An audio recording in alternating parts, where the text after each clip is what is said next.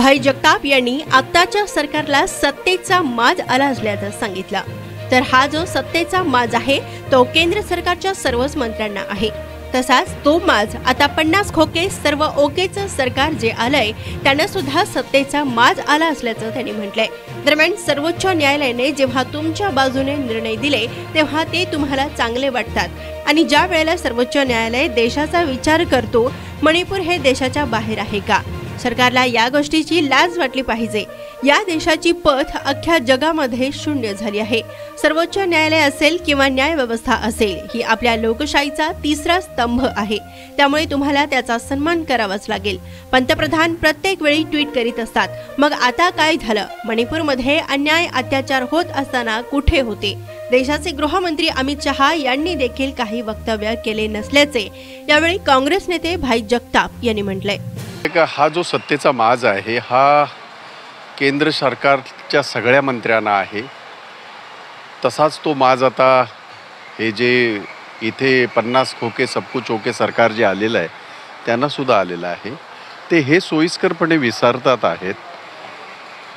सर्वोच्च न्यायालयाने तुम्हाला जे तुमच्या बाजूने जे निर्णय दिले हायकोर्टाने जे तुमच्या बाजूने निर्णय दिले ते तुम्हाला तेव्हा तुम्हाला ते चांगले वाटतात. आणि ज्या वेळेला सर्वोच्च न्यायालय ह्या देशाचा विचार करतो मणिपूर ह्या देशाच्या बाहेर आहे का? काय चाललं आहे त्या मणिपूरमध्ये? त्या भगिनींना त्या महिलांना रस्त्यावर नग्न फिरवण्यात तर लाज वाटायला पाहिजे तुम्हाला ह्याची.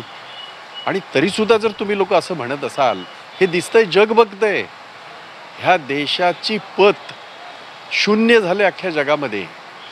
विश्वगुरू विश्वगुरू म्हणत असताना कोण बाहेर जगामध्ये क- कोण कुत्र विचारत नाही. ह्या जगा जगामध्ये या देशाला एक वेगळं स्थान जे मिळालेलं होतं ते गेल्या दहा वर्षात धुळीला मिळवलेलं आहे. आणि म्हणून सर्वोच्च न्यायालय असेल किंवा न्यायव्यवस्था असेल ही आपल्या लोकशाहीचा तिसरा स्तंभ आहे. आणि त्यामुळे त्याचा तुम्हाला सन्मान करावाच लागेल. आणि बाकीचं तर सोडा.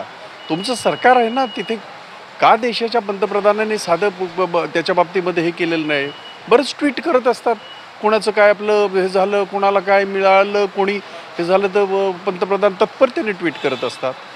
एवढा तिथे अन्याय अत्याचार आहे आणि किळसवाणे प्रकार चाललेले आहेत. आणि ते सरकार पुरस्कृत आहेत. त्याच्यावर सर्वोच्च न्यायालयाने केलेली टिपा टीका टिप्पणी ही सर्वोच्च न्यायालयाने तुमच्या कानाला हात लावला आहे ते सुधारून तिथे कायदा सुव्यवस्था प्रस्थापित करा. देशाच्या ब- जे गृहमंत्री आहेत अमित शहा त्यांनी सुद्धा ह्याच्यावर काही वक्तव्य केलेलं नाही. त्यांनी जाणं गरजेचं आहे तिथे.